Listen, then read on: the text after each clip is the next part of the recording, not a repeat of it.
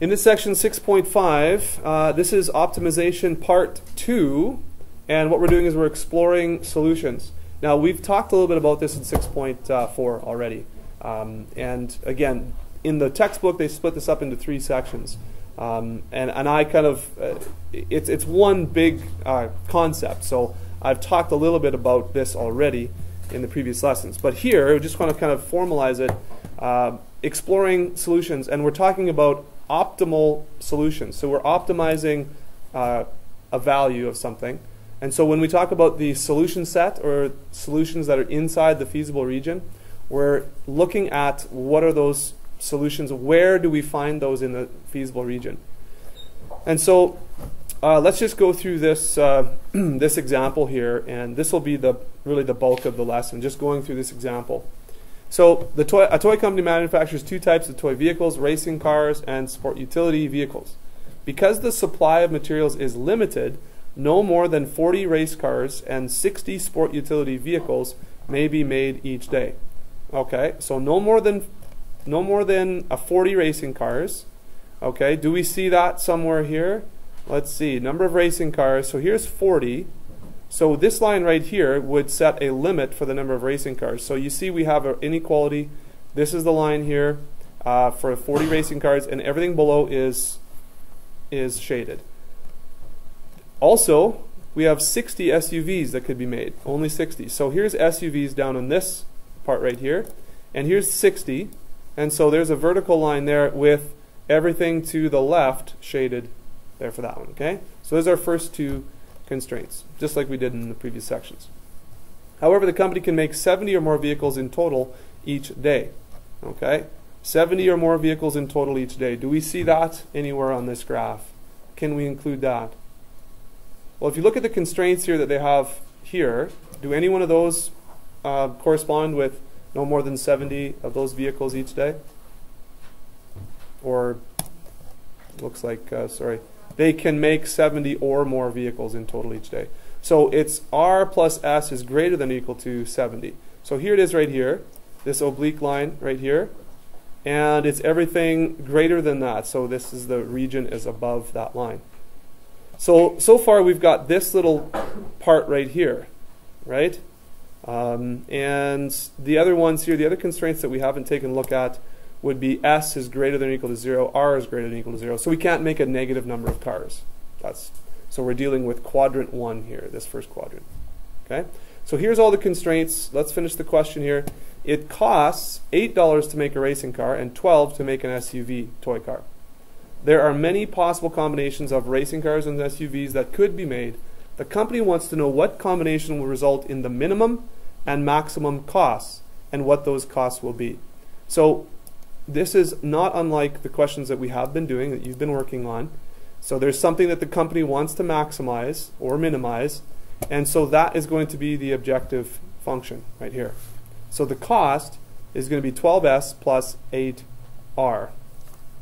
Okay, so the, the, the bottom line is here, and like I say, I have mentioned this before, that the solutions that we are going to be looking for are probably going to be at or near the corners of the boundaries of the feasible region. Okay? If you think about it, all right, look at the maximum number of racing cars here, 40 for example.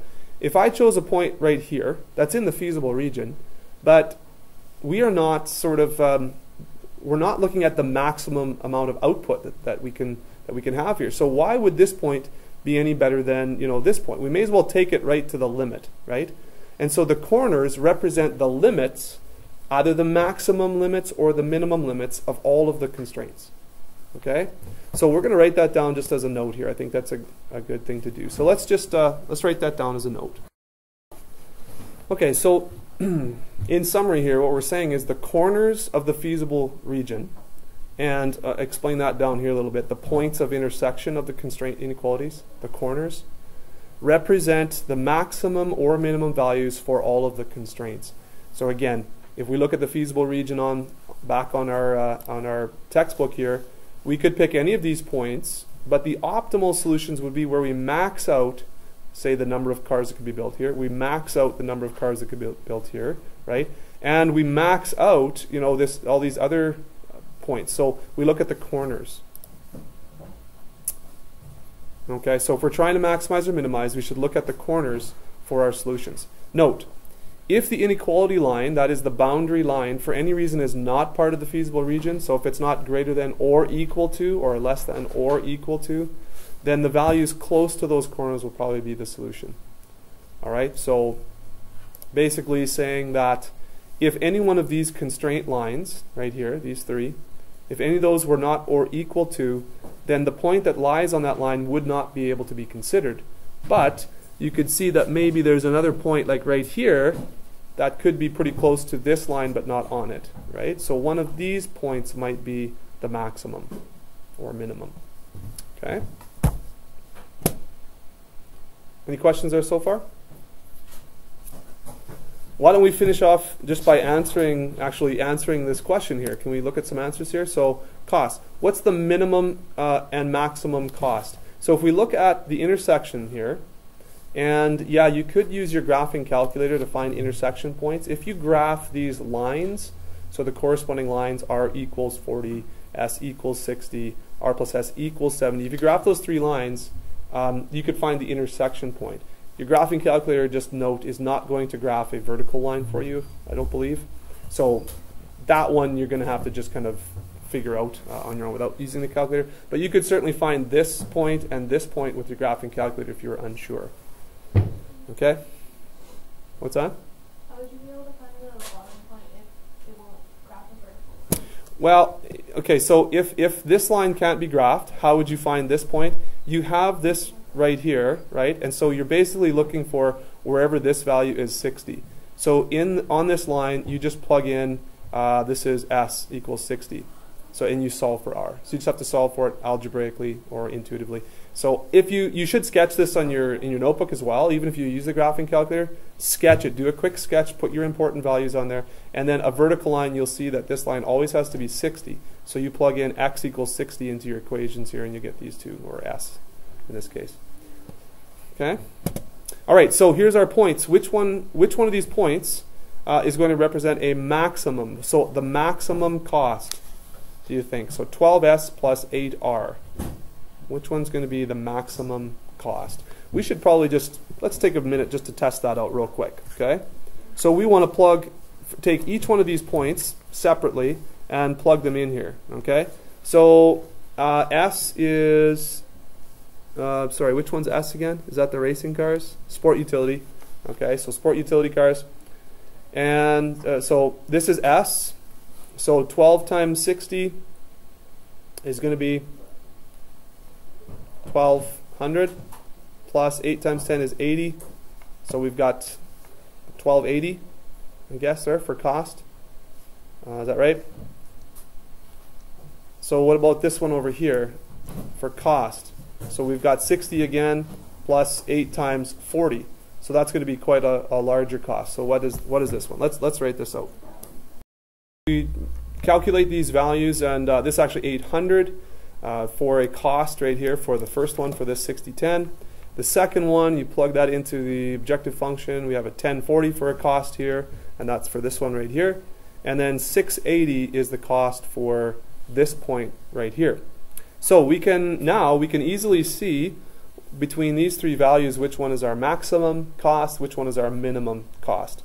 So you would answer the question in a word sentence here because it's a word problem, and you'd say the maximum cost comes when the company makes 60 sport utility vehicle cars and 40 race cars. That's the maximum cost.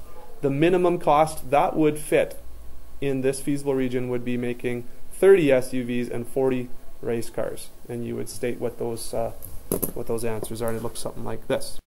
Okay, so you would just write a word sentence like that, summarizing sort of what we found to answer that question. Okay, maximum cost is this, and it comes from making you know these two numbers of the cars, and then the minimum cost is that making those. Questions? Okay.